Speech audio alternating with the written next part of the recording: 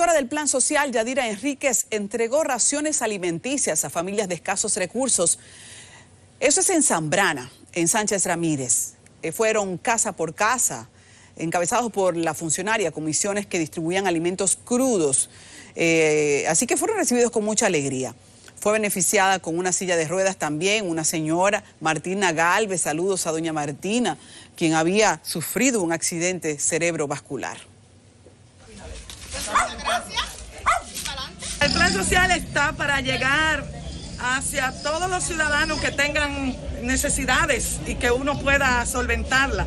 En este caso, la señora es discapacitada, parece que fruto de un accidente cerebrovascular.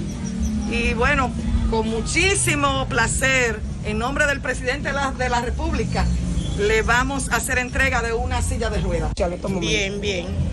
Dándole la gracia de hoy al presidente también y a ustedes. De acuerdo al reporte de nuestro corresponsal Dauri Reyes en Zambrana, el Plan Social, al entregar miles de raciones, donó de manera sorpresiva también esta silla de ruedas.